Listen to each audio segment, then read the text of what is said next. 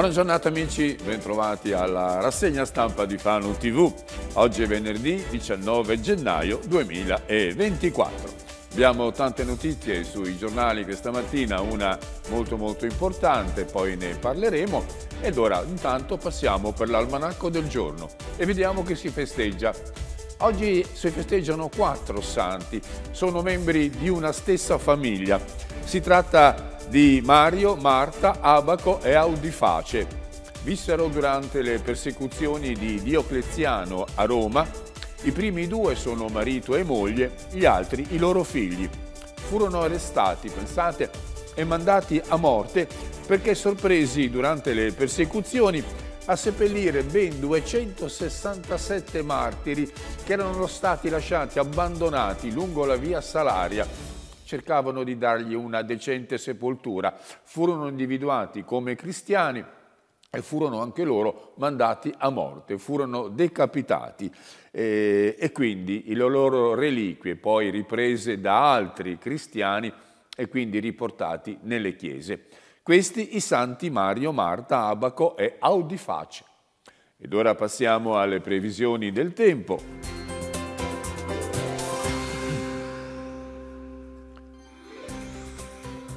Ecco, la grafica ha un tempo in prevalenza, in prevalenza non, non c'è una prevalenza, diciamo meglio, è una, così, un equilibrio tra cielo sereno e cielo nuvoloso. Cieli dunque in prevalente, pre, parzialmente nuvolosi. Eh beh, ci sono dei termini antitetici oggi sui giornali. Dal pomeriggio comunque ci saranno deboli nuvole che passeranno nel cielo della, uh, della regione Marche. I venti saranno al mattino e al pomeriggio tesi. Le temperature, le temperature si discostano di poco tra la massima e la minima, 10 la minima, 11 la massima, è una temperatura costante. Invece il mare è leggermente mosso, mentre il sole sorgerà tra breve alle 7.37 e tramonterà alle 16.57.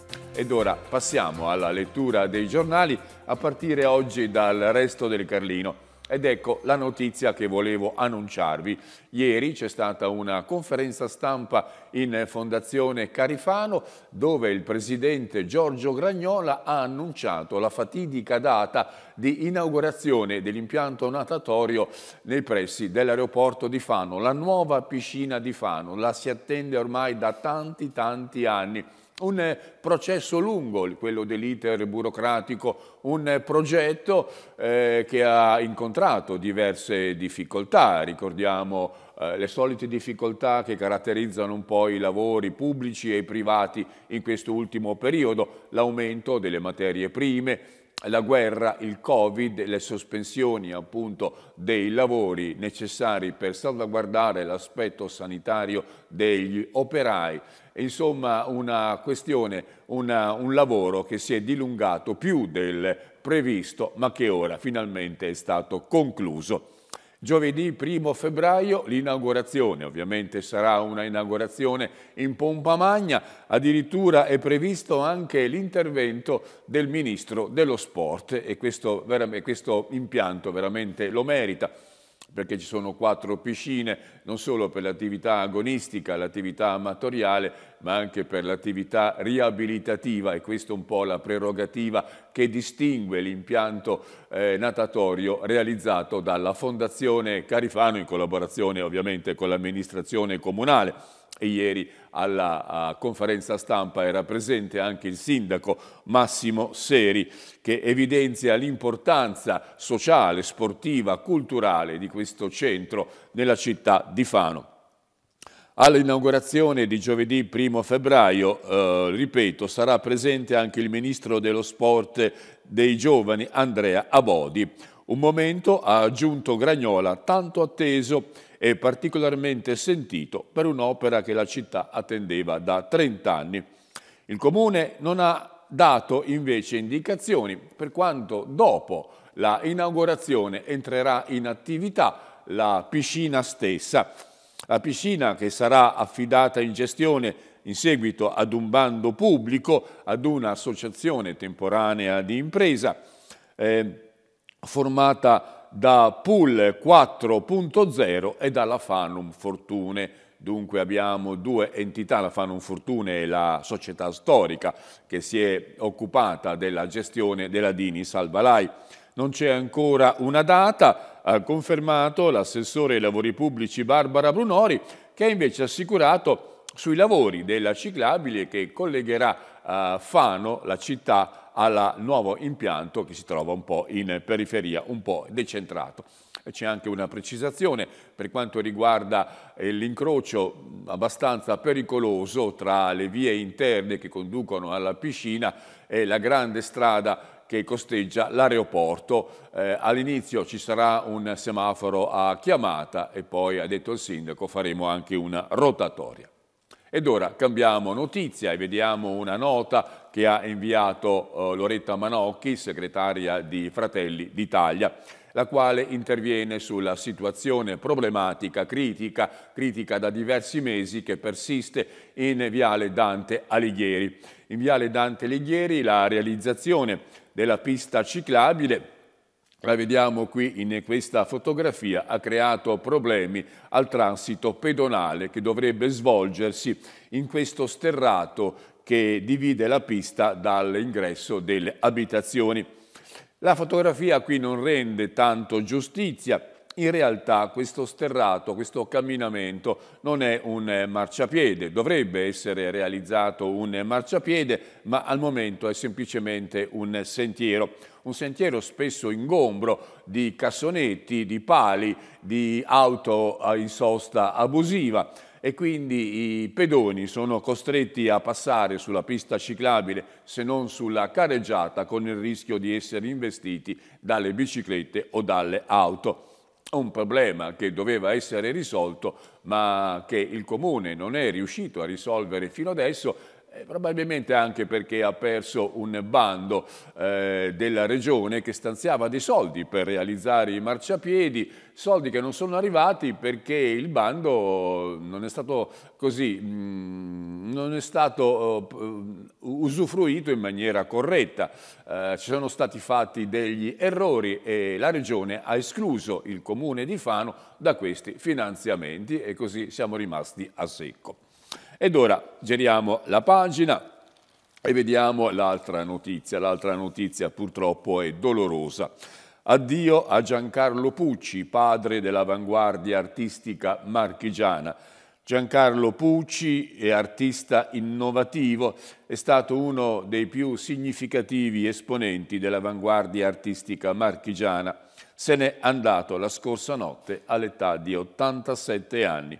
Un padre dolce e amorevole, lo ricorda il figlio Ignazio Pucci, che tutti conoscono, è stato dirigente del settore turismo della provincia di Pesaro Urbino, poi ha lavorato in regione ed ora ricopre la carica di dirigente del settore cultura e servizi educativi del comune di Fano. Ignazio Pucci è stato anche segretario della Democrazia Cristiana, ed è stato dunque un eh, esponente politico molto noto in città, altrettanto il padre. Il padre è un artista eh, così molto molto originale.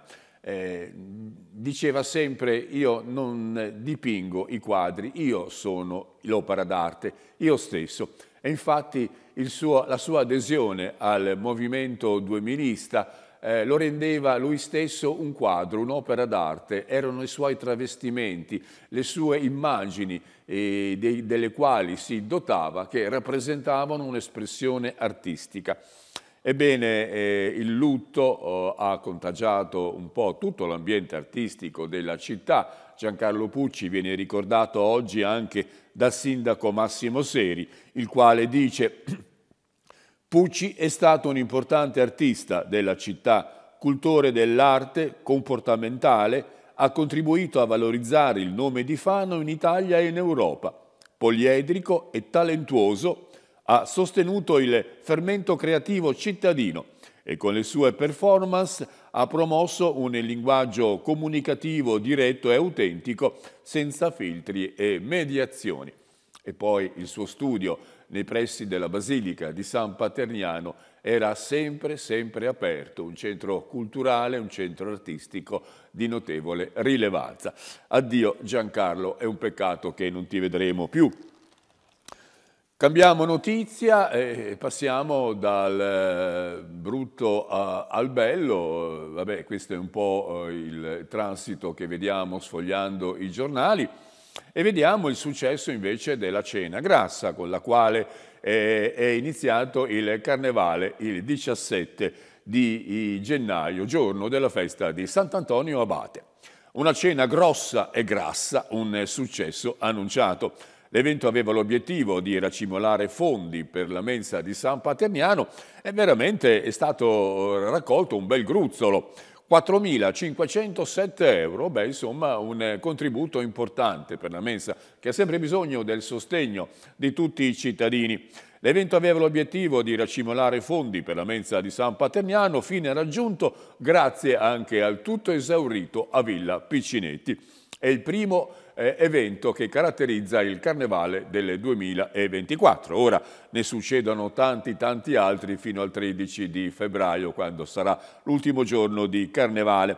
Vediamo quali sono gli altri appuntamenti. Sabato domani alle 11 nella galleria commerciale di Fano Center ci sarà la mostra dedicata alla musica arabita che con questa iniziativa chiude tutte le attività, tutte le iniziative dedicate al suo centenario il centenario della band.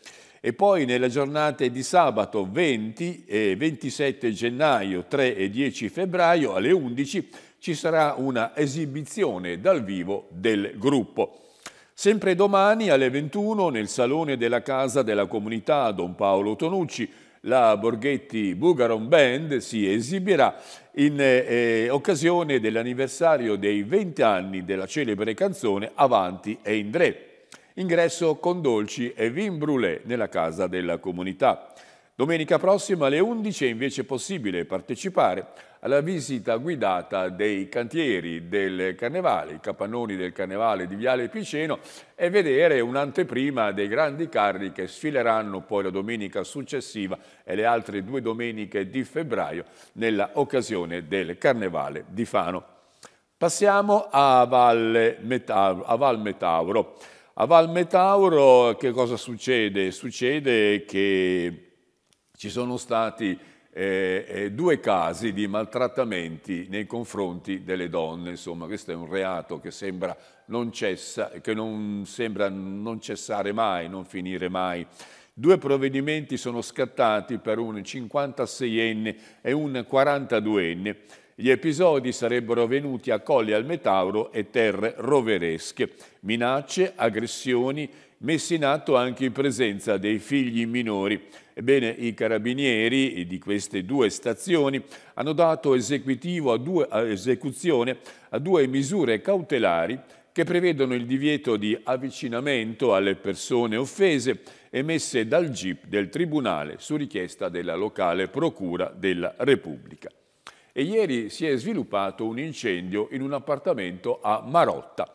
Eh, non c'era nessuno in casa, c'era solo un cane. Poveretto il cane è morto perché ha respirato delle esalazioni che poi lo hanno ucciso. Sembra che sia scaturita una scintilla, ancora non si sa come, dalla cucina stessa, una che ha una, una, scintilla che ha fatto divampare poi le fiamme e tutta la cucina è andata a fuoco. I, ovviamente i vigili del fuoco sono intervenuti con tempismo e sembra che abbiano salvato gli altri ambienti della casa.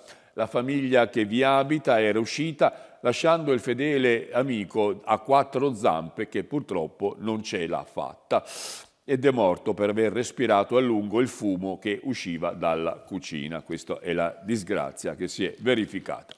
A Urbino, a Urbino c'è una rivendicazione sindacale per tutti i dipendenti dell'università.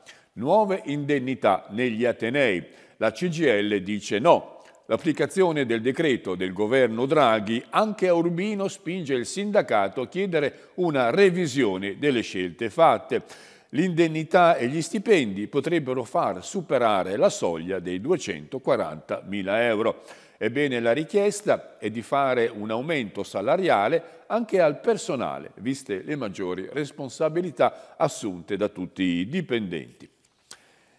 La discarica di Riceci fa sempre parlare di sé, alimenta anche la tensione politica in vista delle prossime elezioni amministrative, ci sia il coraggio di dire basta e interviene in questo caso il comitato che lotta contro la discarica di Riceci, che chiede di non trascinare la vicenda nelle campagne elettorali. In vista sono poi altre forti proteste.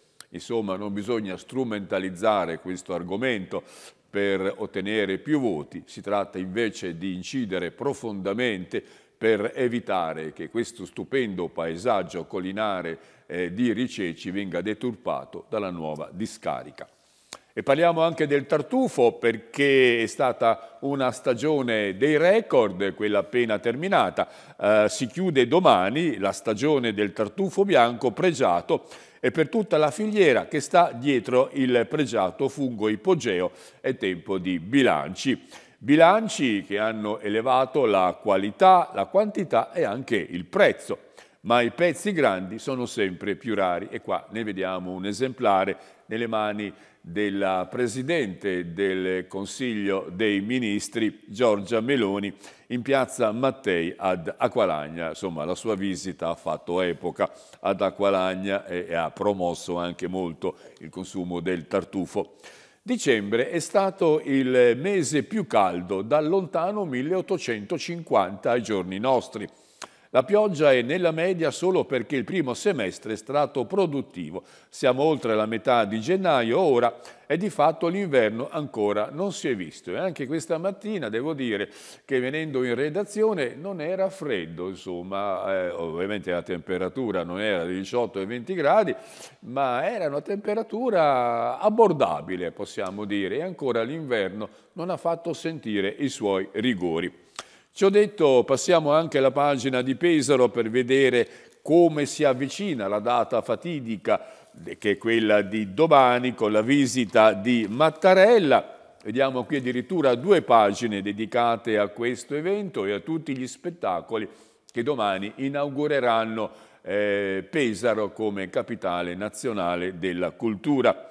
La capitale si scatena, Casadei, detta il ritmo, andremo a tutto gas e vi faremo ballare, ha detto il responsabile di questo gruppo storico. L'orchestra si esibirà dalle 20 alle 23 circa, mentre alle 19 riapriranno i cancelli della Vitifrigo Arena dopo l'esibizione di Max Gazzè che è alle 16 e per poter far accedere il pubblico all'interno dell'astronave l'ingresso sarà completamente gratuito fino ad esaurimento posti. Invece si pagherà quello che verrà dopo Casalè, dopo Casadei. Alle 22.30 si ospiterà nella Vitifrigo eh, la festa Once a Year, è Rosa Chemical, l'unico appuntamento a pagamento della giornata, il costo è 17 euro. Comunque eh, tutto è in fermento per la visita del presidente Mattarella eh, che andrà anche da inaugurare il teatro di Valle Foglia. E vediamo che, che, a presentare il presidente sarà Paolo Bonolis che aprirà la cerimonia inaugurale al mattino alle ore 11. Via al tour manifestazioni in tutta la provincia, intanto parte Valle Foglia, oggi comune sarà capitale per una settimana, la prima dal 22 al 28 gennaio con tante proposte. È una delle prerogative di questa grande manifestazione che poi si trascinerà per tutto l'anno a Pesaro è quella di aver coinvolto anche i comuni della provincia e quindi abbiamo tutto un insieme di grandi iniziative che coinvolgeranno non solo Pesaro come capoluogo ma anche tutte le altre località del territorio. Il totem è messo all'asta, la protesta delle famiglie, lì vanno i nostri figli. Si parla del centro di aggregazione giovanile che sta per essere venduto dal comune. C'è rabbia per questo provvedimento a Villa San Martino, è un servizio molto utile per il quartiere. I ragazzi giocano, fanno i compiti seguiti da educatori Poi, una volta che il, lo stabile sarà venduto, dove andranno? E questo è l'interrogativo che viene enunciato. A questo punto passiamo al Corriere Adriatico. Vediamo che l'apertura nel Corriere Adriatico è dedicata ad un tema che si è dibattuto a lungo nell'ultima seduta del Consiglio Comunale di Fano, la prima del 2024 che si è svolta l'altra sera. Ebbene, si è parlato della ciclovia del Metauro un argomento che ha diviso profondamente la maggioranza, tant'è che tutto il gruppo consigliare del Partito Democratico al momento del voto è uscito dall'Aula. Che cosa è accaduto? È accaduto che da sempre il Comune di Fano aveva sostenuto il progetto che era stato concordato con la vecchia giunta uh, Ceriscioli, la vecchia giunta regionale, delineando il percorso della ciclovia del Metauro nei pressi della uh, ferrovia Fano Urbino. La Regione invece con Acquaroli ha cambiato radicalmente il progetto, ha fatto un eh, percorso più arzigogolato, un percorso che a un certo punto lascia eh, i pressi della ferrovia e va un po' nei campi, gira un po' in diverse località e questo non è piaciuto al comune di Fano soprattutto non è piaciuto al Partito Democratico, però in ballo c'è un contributo di 6 milioni e mezzo ed il Corriere Adriatico inizia l'articolo dicendo per Enrico Navarra Parigi valeva bene una messa. Per il sindaco Massimo Seri ottenere un contributo di 6 milioni e mezzo val bene accettare il progetto della regione. Quindi c'è stato un cambiamento di intesa. E Ob Torto Collo, il comune di Fano, ha accettato questo nuovo progetto. La cosa però non è piaciuta al Partito Democratico che ha definito con la sua capogruppo Agnese Giacomoni il progetto, un progetto scellerato, addirittura usando le espressioni forti, coscientemente, l'ha detto, insomma, ovviamente in termini politici e, e tutti quanti sono usciti dall'aula. Sono rimaste le liste civiche che aderiscono al sindaco Massimo Seri e, e la delibera è passata con i voti dell'opposizione. Quindi c'è stato questo momento di incrinatura all'interno della maggioranza all'inizio dell'anno. Siamo in campagna elettorale, insomma qualcuno cerca di andare un po' per conto suo. E poi abbiamo anche sul Corriere l'addio a Giancarlo Pucci, la personificazione di arte e fantasia. Bello questo titolo perché è significativo di come lui stesso era un'opera d'arte e qua lo vediamo in una delle sue performance. Giancarlo Pucci in uno dei suoi travestimenti artistici. È morto a 87 anni, uno dei personaggi più eclettici della città. Oggi il funerale, c'è anche il ricordo dei suoi compagni d'arte, dei suoi amici, dei suoi estimatori. Si inaugura la nuova piscina, taglio del nastro con il ministro dello sport. Gragnola e Seri annunciano la data, primo febbraio, ma i dettagli restano top secret, verranno, sono ancora un po' da definire, ecco perché non vengono resi noti e saranno resi noti poi via via che ci avviciniamo alla data del primo febbraio prossimo. Ultimatum di De Leo che ogni tanto sale alla ribalta della cronaca, azzerate la trattativa. Ci sono ancora fibrillazioni all'interno del centrodestra per la candidatura di Luca Serfilippi che dovrebbe ormai essere così presentata alla città. Manca poco, ovviamente Luca ormai viene considerato il candidato univoco del raggruppamento della coalizione del centrodestra e De Leo si trova davanti un avversario non certo facile da sconfiggere, insomma vediamo un po' poi che cosa accadrà.